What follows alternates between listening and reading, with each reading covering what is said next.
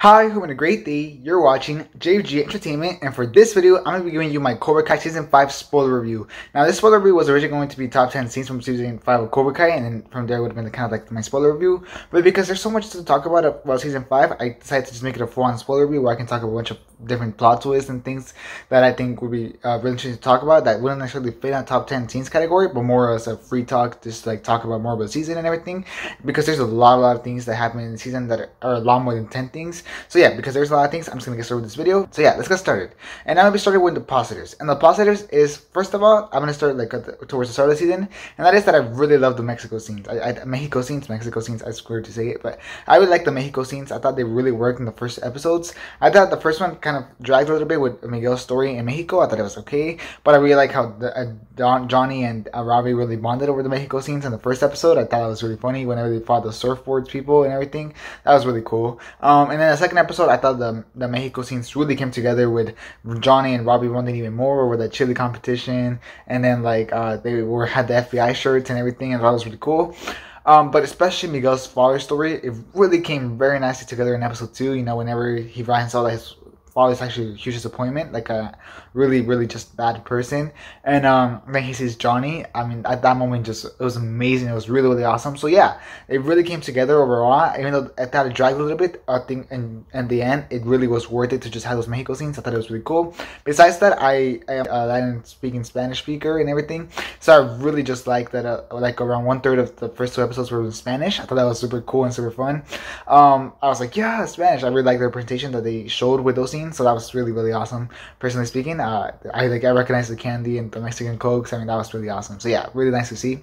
And like I also said, Robby's and Johnny's relationship during that trip was really awesome. Did we just got to see how they bonded together, and I really just like that. I really think that that relationship finally being solved instead of going on circles really elevated both characters, both Robby and Johnny, to be more mature, and I and I really like that about the relationship. I thought it was just really awesome to see, especially at the end of season four where they, they really had a, a, really strong ending scene together.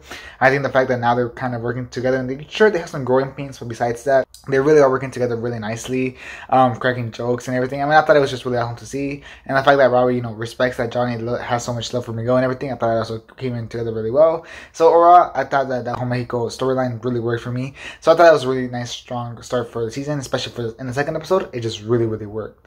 Um, other things from the first two episodes, we saw Chozen finally come into LaRusso's life and everything. And I think Chozen in general for the season was a really nice, strong addition. I thought he was really cool. I think he brought a lot of energy that Johnny used to bring to the show, but because Johnny's a lot more of a calm character now, um, I think Chozen ended up bringing more of aggressiveness than Johnny in this season. So I thought that was pretty interesting that they made that choice. I, I think it's pretty cool. Uh, and the fact that you know Daniel really likes Chozen and they, they're working together now against Silver and how Chozen is a lot more aggressive and he's willing to get his sense a lot more dirty than Daniel. I think that's really, really interesting. And you really do feel like Chozen is a huge threat, especially in episode two. So you know how he infiltrates uh, Terry Silver um, Cobra Kai dojo, and then in episode two, Terry Silver finds out. Which, by the way, Terry Silver is just so smart. But anyways, whenever he finds out, and then all the he sends all the senseis to fight him, and then whoever takes him down gets a job, and then he beats the crap out of all of them. I mean, that was just a really cool scene, and you really feel like, whoa, Chozen is definitely a guy you don't want to mess with. He's a straight up threat. So yeah, that's really really awesome. However, I do feel like because the end of season four was kind of like if you lose a tournament, you have to close down your dojo. It kind of kind of went a little bit slow during the Daniel side of the story for the first two episodes because you know he had to close down the dojo and everything, and I just felt like he was it was just there to kind of make the plans, but I don't know, he just didn't feel that useful. You know what I mean? And he wasn't very likable either. Within the first like four episodes, I think he was very unlikable. Like I get that Teresa was missing his mind and he was really making him go insane, but besides that, I just didn't feel like he was very likable. Um, which is why I actually really appreciated the, the storyline that they gave Amanda, where she had to kind of understand why Daniel was so paranoid and everything about Terry Silver, and I think that really helped the audience itself understand it because before that, I think if they hadn't done that storyline, then it would have come out as very unlikable during the season. So I really like they gave Amanda that storyline where we really do understand why uh, Daniel is so traumatized and so paranoid about Terry Silver. Really nice storyline from the writers to add that in. Really nice move. But yeah, um, so yeah, the storyline for Daniel, the story of the season, I thought it was okay. I thought Johnny's scenes with Robby and Miguel's storyline was a lot more interesting. Um, another storyline that I was also super super curious to see right coming off season four because season four thought gave them a lot more character development was Tory. I thought Tory was a character that they gave a lot more character development during the season, season four, like a lot more character development, like to the point where in that tournament I wanted Tory to win. You know what I mean? So that really made a huge shift for me. Um, and I was just really curious to see what was gonna happen next to her after she found that uh, Teresa basically paid for her to win. Um, and, and then that's the point. I think that her storyline was really went somewhere this season, starting with the start of the season where she was really kind of mixed on herself. She really didn't know what to do.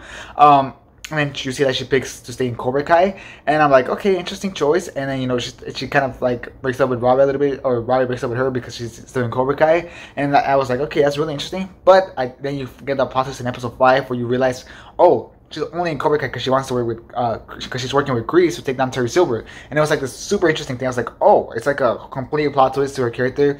Because I really thought I would just put in the character backwards. I was like, come on, we're just taking this character backwards and it's just getting kind of annoying.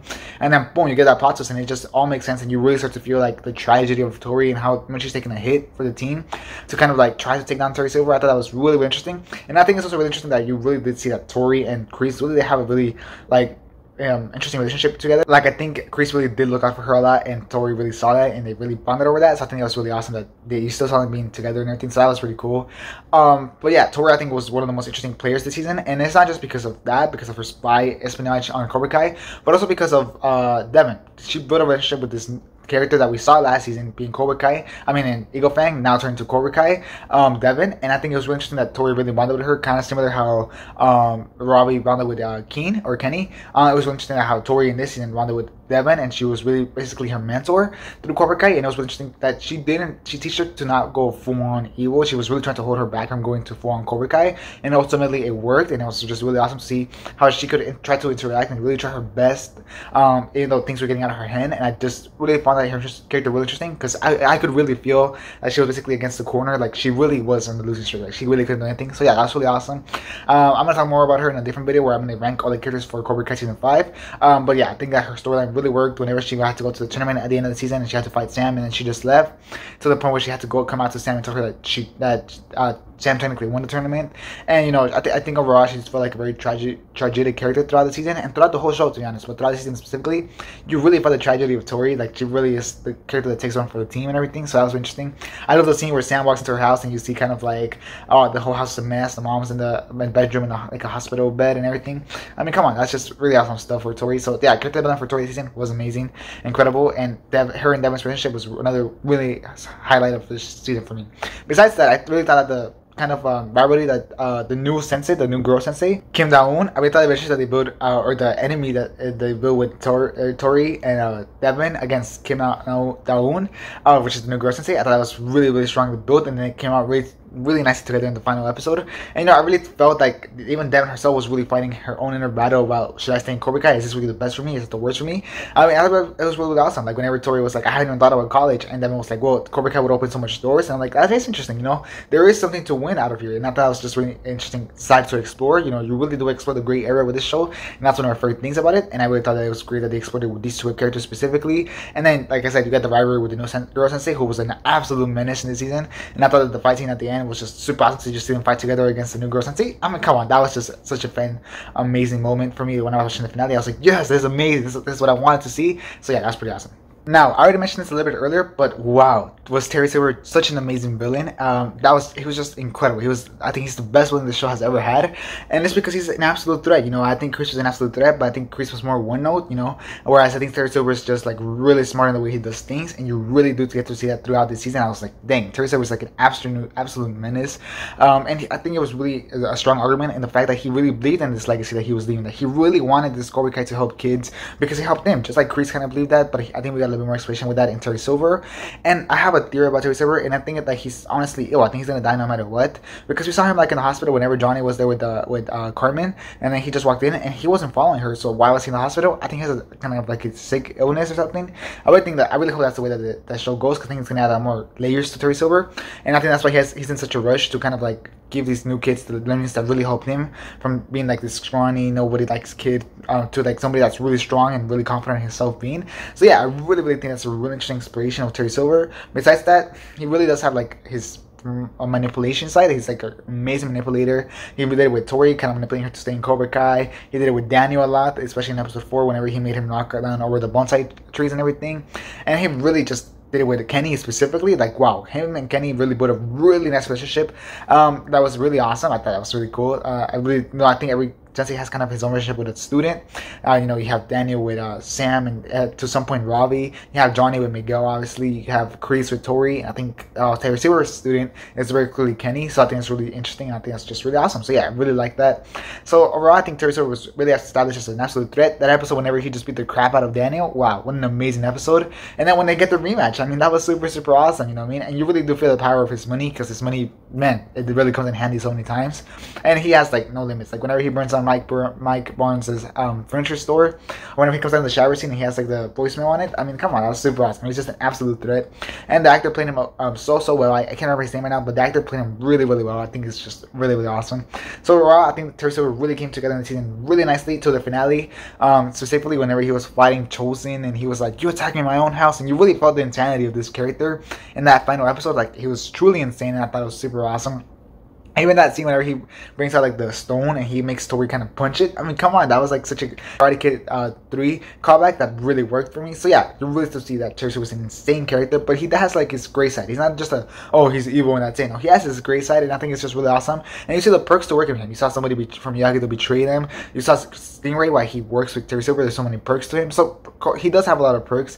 And overall, I just think Terry was a really smart guy that really added a whole other layer of threat to this show.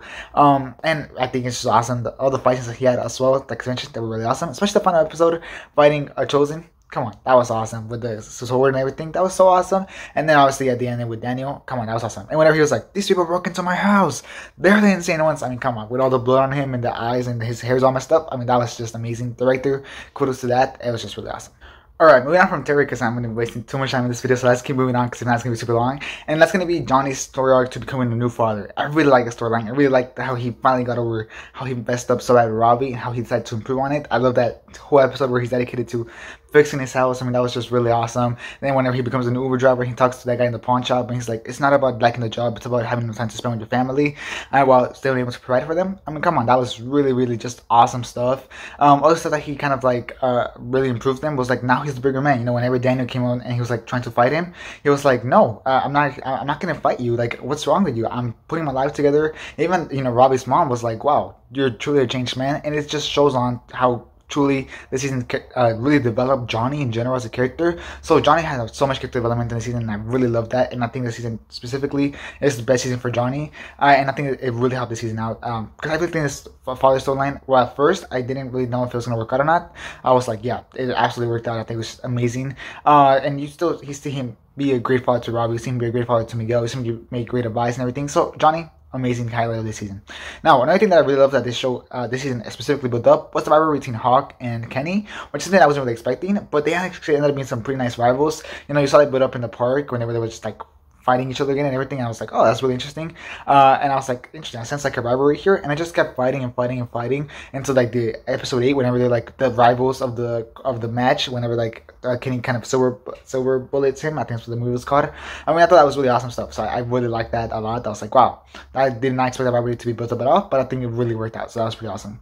Uh, another thing, talking about the silver bullet, is that I love the new kind of mythology that they kind of added to this layer of the show, going on from like uh, Terry Silver's like um, teachings and everything, and how the new sensei has it, don't the teachings and everything I want to pass it to this new legacy. That's just really, really awesome. So I think that was really awesome. I think that I re- uh, and and with this mythology, it wasn't just him; it was some more Chozen as well. He had a lot more mythology to the show, and you know, you had you saw new Terry Silver moves like the Silver Bullet, like I just mentioned, which I think added more dimensions. So I really like, they expanded this karate universe to really have more layers, and like you know, they were talking about how it was during the Korean War, not the second, not World War II, and like they kind of give you history on it and all that type of stuff. I just thought it really worked. And I was like, that's really awesome. We should learn more about that because that's pretty cool. So yeah, that was pretty awesome.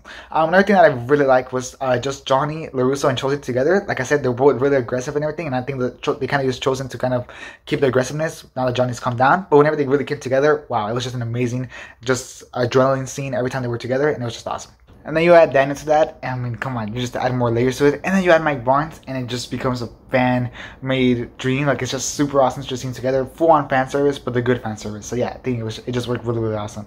And the last positive I can say is that I think the overall season came together really, really well. I think the best thing that the show can do is that it really delivers on its finales, which are as many shows, especially MCU shows lately, they have not delivered in the finales at all. I think the finales probably been some of the worst episodes. I think this one really delivered on its finale, bringing the whole season together and everything. And I was like, yep, that was an amazing finale. And I think it's just such a strong strength of this show. It's not just this season, but the whole show in general. And this season did not um, disappoint with the finale. It was really, really awesome. So yeah, that was really, just really, really nice and an amazing, huge positive. It just it was such an enjoyable finale. I mean, come on, Daniel versus Terry Silver rematch cool. Cobra Kai versus Miyagi-Do in general, like the whole thing.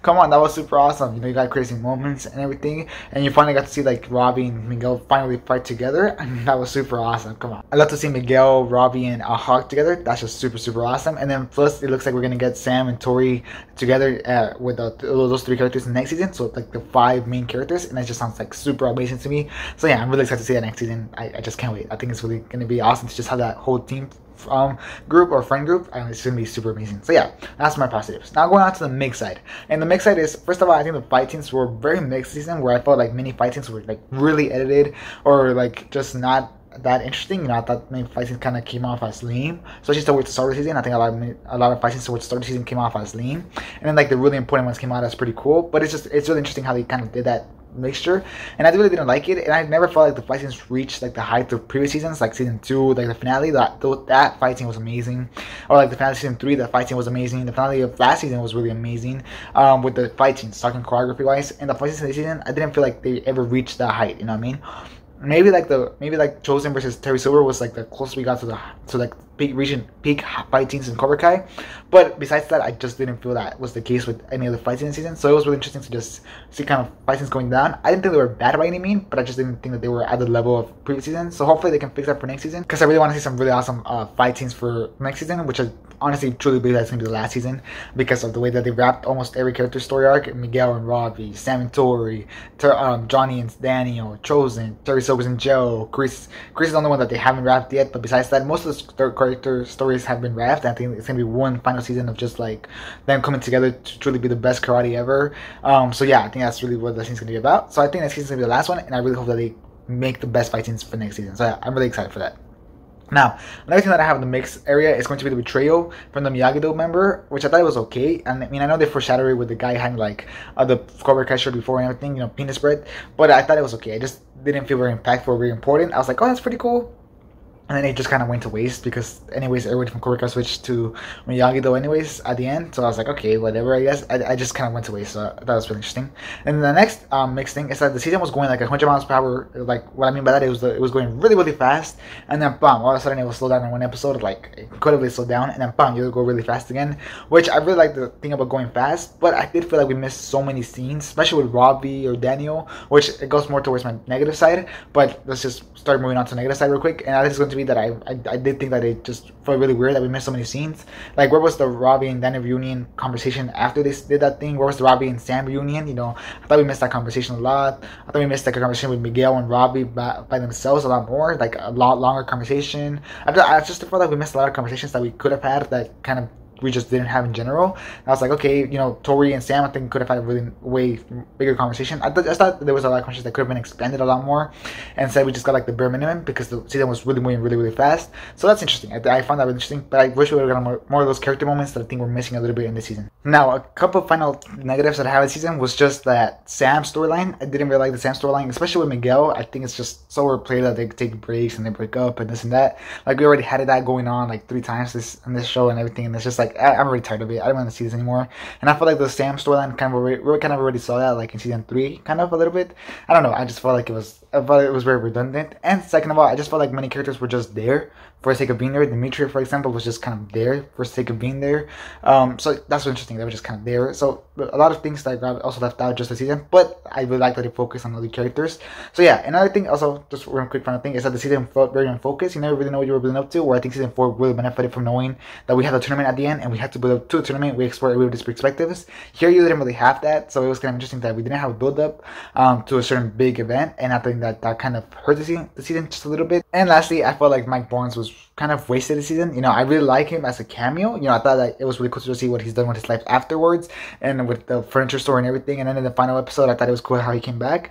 But besides that, I thought that he was really wasted. He could have had a way better arc in the season, especially in the final episode where he guys kind of like fought one guy, got punched out, and that was basically it for him. I just thought, eh, he was really wasted. Um, so especially as a Cobra Kai um, Karate Kid 3, I wasn't really, I never really saw that film until like really recently. So it's like, okay, whatever. I, I, I thought he was cool and like whenever he showed up, but I thought he was showed up very little bit. And I think that he did not do almost uh, in nearly enough in the season to really be memorable for him to be like oh, that was super awesome. You know, I think it was okay, whatever. So yeah, that's really interesting. But besides that, I really thought it was a really strong season. Uh, comedy as stays peak as always. I think comedy is really a strong for this show. Um, but overall, I think it's just the main really cool thing about the show is just exploring the different perspectives of the characters. And I think we're finally starting to get to a point where they're really bombing the characters and taking all the circles. You know, Robby and Miguel are finally talking. Johnny and Robby are talking. Daniel and and Johnny are talking. All types of stuff. All these characters are finally kind of getting over the craft and finally working together. And like I said, I really think the next season is going to be last season. So yeah, really rooting for that season to be the best season so far.